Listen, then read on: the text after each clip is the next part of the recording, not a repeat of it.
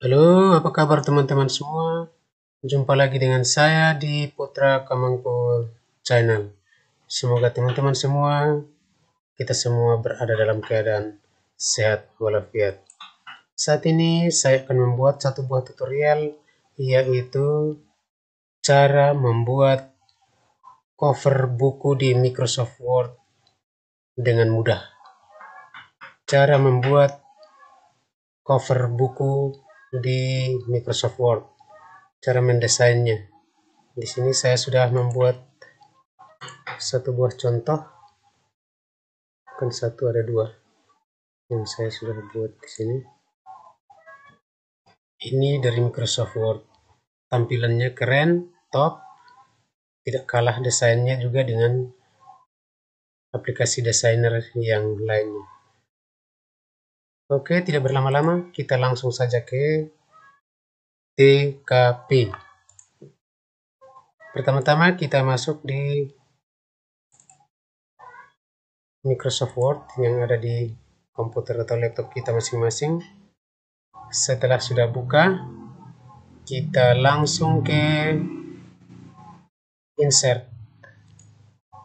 Kita ke insert, kita klik shapes, klik kotak persegi lalu kita membuat warna dasarnya terlebih dahulu. Warna dasarnya kita buat terlebih dahulu. Warna dasar daripada cover ini kita buat terlebih dahulu. Terserah kita mau pakai warna apa.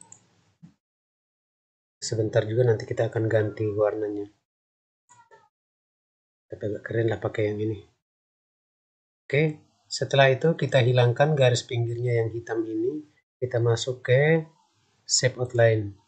Lalu arahkan kursor ke bawah ke no outline. Kita klik maka garis pinggir yang warna hitam sudah hilang. Langkah berikutnya kembali kita ke insert. Klik kotak persegi 4 kita klik lagi di dalam sini lalu kita tarik bagian sebelah kiri kanannya. Sampai sesuaikan dengan lebar kertas. Oke sudah. Tarik lagi ke atas. Oke kira-kira begini. Boleh? Ke bawah sedikit. Boleh. Sudah begini. Juga kita hilangkan garis pinggirnya. Save outline no outline kita ganti warna sesuai dengan keinginan kita. Kita ke shape fill. Ke bawah gradient fill. Langsung kita arahkan terus lagi ke bawah more gradient kita pilih gradient fill.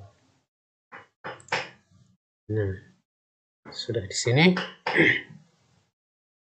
Ini warna-warna yang akan kita pilih sesuai dengan keinginan kita.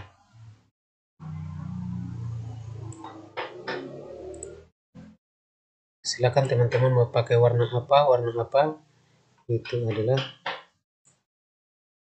haknya teman-teman semua. Tapi di sini saya akan mencoba pakai warna yang ini. Kita ganti warna atasnya pakai warna hijau. Oke, hijau kuning lah kira-kira begini. Oke, kita close kita copy lagi. Kita paste tapi sebelum itu? Oh jangan dulu. Kita bentuk dia dulu. Mau desain seperti apa? Kita ke edit shape. Klik. Klik edit point. Kalau sudah muncul tampilan seperti ini sudut-sudutnya sudah warna hitam klik di sudut klik begini tampil seperti ini tinggal kita klik di sini tekan dan kita arahkan ke atas. Seret. lepas. Kalau sudah bentuk begini lepas. Kita copy. Paste. Kita ganti lagi warna. Warna yang ini. Kita masuk lagi di shape fill gradient fill lanjut ke bawah more gradient masuk ke sini sudah dari sini. Kita ganti warna tampilan paling atas. Kira-kira warna biru lah. Warna biru ini warna eh, biru kuning. Coba kita angkat tempelkan ke sana. Oke belum. Ini kita panjangkan sedikit. Oke ini kita angkat tempelkan di atasnya. Oke sudah. Makanya ini harus kita ganti lagi.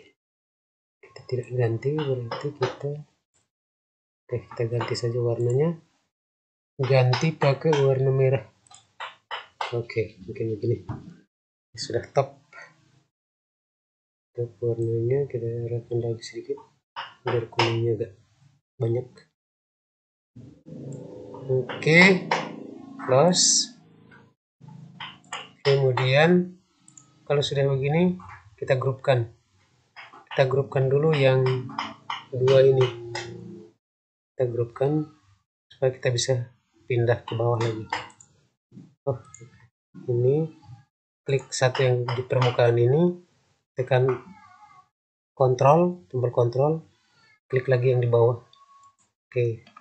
Ketika dua-dua sudah terseleksi seperti ini kita grupkan. Grupkan cara grupkan bagaimana? Sudah saya ulang-ulang di video-video yang lain sudah kalau kita grupkan dia. Arahkan kursor ke sini grup. Kita masuk ada grup sini kita klik. Oke jadi ini sudah grup. Tinggal kita mau pindah ke mana jadi. Terserah kita. Masih belum. Sorry sorry sorry. Belum. Belum terseleksi dengan benar. Oh salah angkat tadi. Sorry. Oke. Kalau sudah begini kita copy lalu kita pindahkan. Kita pindah ke bawah lalu kita putar. Ceret balik dia oke. Kalau sudah balik kita bawa dia sampai di bawah. Letakkan di posisi yang kita inginkan. Bawa lagi. Ini kita arahkan ke sebelah kiri biar bisa tutup warna putih yang ada itu warna dasar kertas. Oke sudah begini. Teman-teman mau ganti warna lain atau mau pakai ini tetap boleh. Coba kita ganti warna yang lain yang bawahnya ini. Aduh. Bisa klik double klik di salah satu yang akan kita ganti. Karena di situ sudah group maka kita harus double klik di salah satunya terlalu menyala. Agak pudar-pudar lah. Oke. Begini kira-kira. Kalau sudah begini kita pasang gambar di warna dasar yang telah kita letakkan terlebih dahulu tadi. Terserah teman-teman mau pakai warna apa di sini.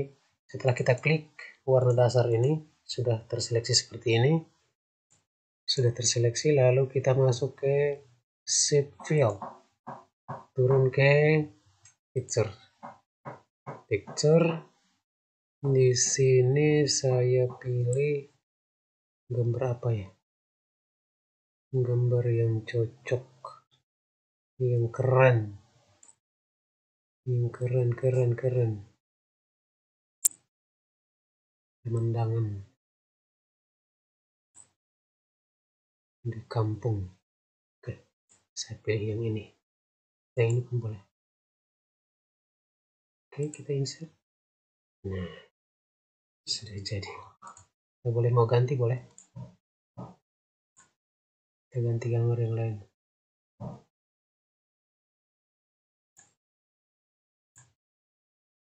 Apa masih kurang bagus? Masih kurang juga yang keren lah. Teman-teman punya gambar yang lain silahkan kalau sudah begini teman-teman punya gambar yang lain mau ganti warna latar ini silahkan mau pakai gambar apa? Menjadi covernya. Warna cover. Gambar cover. Mau pakai yang warna apa? Gambar apa? Terserah teman-teman nah kita akan cari gambar yang yang bagaimana ya? Oke mungkin ini boleh. Nah ini. Bagaimana teman-teman? Keren juga. Setelah gini setelah kita sudah pasang warna latar gambar yang kita inginkan kita grupkan lagi ini sudah grupkan di atas ini sudah dua ini sudah kita grupkan di bawah sudah kita grupkan namun kita akan grupkan ketiganya lagi. Kita klik. Ini sudah terseleksi yang atas. Kita klik yang bawah lagi. Tekan kontrol. Kita klik yang bawah. Lalu tekan yang tengah. Kita kontrol lagi. Tekan yang tengah. Tombol kontrol jangan dilepas sampai semuanya benar-benar terseleksi. Tiga-tiganya sudah terseleksi. Satu dua tiga Lalu kita grupkan dia lagi.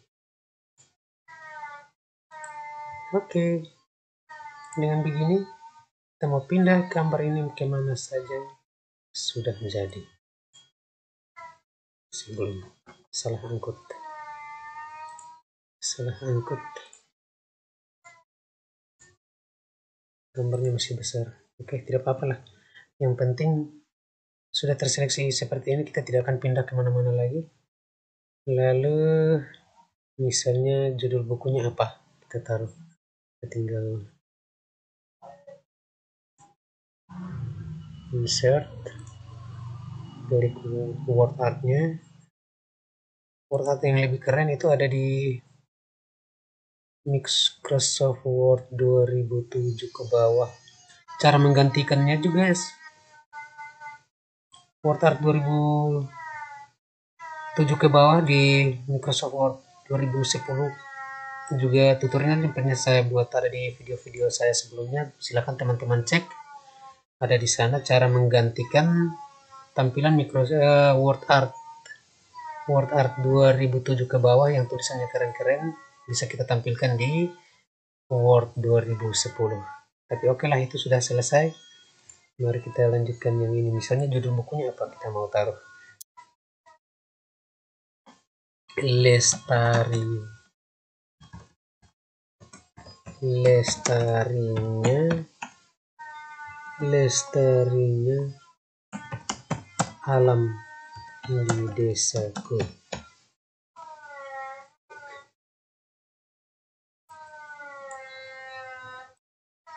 Tinggal kita sesuaikan oh sorry. Ini baru mungkin agak cocok ya. Pilih jenis huruf yang akan kita pakai. Pakai jenis huruf apa? Sini saya pilih Arial blacknya. Warnanya tinggal sesuaikan. Teman-teman mau pilih warna apa? Tinggal kita cari warna yang sesuai dengan keinginan kita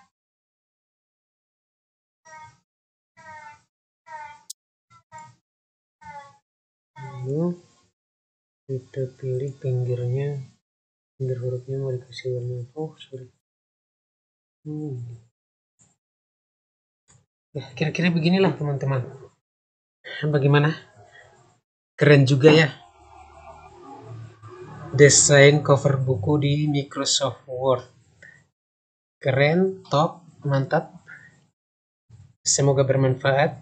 Teman-teman yang baru menemukan channel ini Jangan lupa tekan tombol subscribe, like, komen, dan share sebanyak-banyak mungkin ke teman-teman yang lain agar kita semua boleh belajar sambil belajar sambil bisa mengerjakan tugas-tugas kita, pekerjaan-pekerjaan kita sehari-hari. Mungkin ini saja tutorial dari saya. Silakan teman-teman mempraktekannya di rumah masing-masing. Dan akhir dari semua ini, saya ucapkan terima kasih dan sampai jumpa.